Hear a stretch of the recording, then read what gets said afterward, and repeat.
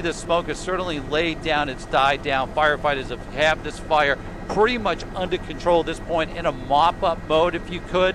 And you can see from our shot as Pat zooms in, there's definitely some structural damage to some of the towers in the area around the launch pad. Some of the storage buildings have been damaged or actually on fire and exploded. Uh, it's a very hot scene, so to speak. They are keeping us at least five miles back at this point, and I don't imagine we'll get any closer for the rest of the day. But we're going to stay on scene. As things change, we'll let you know. Reporter for the WESH 2 News Team, Chopper Dan McCarthy, back to you.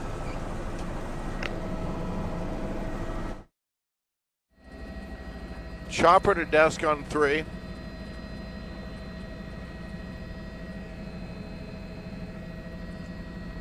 It is imperative that we give Dan mix minus. We've been talking on 2755 for 10 minutes, yet he was not given mix minus.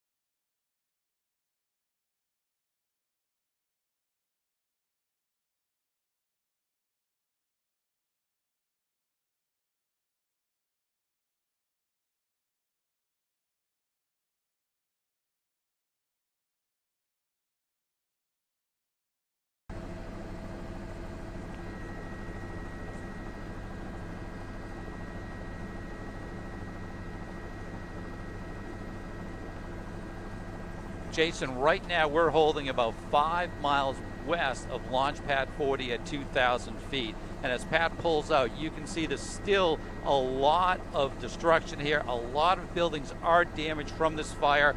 We do not see any brush fire. We have seen some small areas of flames from time to time. Fire rescue, NASA, the Air Force are all trying to get a handle on this fire right now. For the most part, from this standpoint, it looks like it's under control. But when you're dealing with rocket fuel, anything is possible. So they're taking this very cautiously. They had one of their helicopters flying over it. It just went back in the refuel. As we look at from this angle, you can see there's a lot of white smoke. That's from putting chemicals, putting, I don't want to say water, but some type of flame retardant on the flames, on the fuel to calm it down to try to get control of it. Also, as Pat zooms around, you can see that some of the towers are heavily marked by the fire, marked by the fire. A lot of damage to the towers themselves, a lot of damage to the pad themselves. It's going to be a long time before they can use this pad again. Luckily, the other pads are at least a half mile away from this pad, so they look okay. But we'll get a lot more information over the next few days how this happened, why it happened, and what they'll do in the future to prevent this from happening again. Reporter for the WESH 2 News Team, and McCarthy, back to you.